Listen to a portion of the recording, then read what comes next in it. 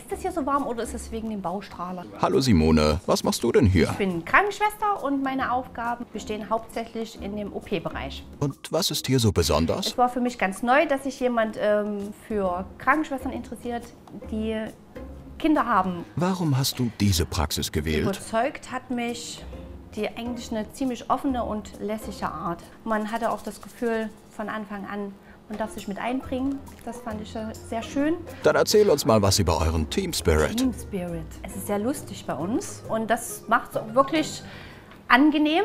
Wir können äh, gut scherzen zusammen. Und wie stellst du dir dein Traumkollegium vor? Ein Traumkollege wäre natürlich auch mal ein Träumchen. Eigentlich geht es uns darum, dass, es, ähm, dass jemand engagiert ist, offen ist auch für Neues. Bei uns gibt es viel Neues, gibt viele Veränderungen. Danke, das war's auch schon. Soll ich noch, es waren viele Stotterlied dabei. Ist, Nein, ähm, ist schon ja, okay. okay.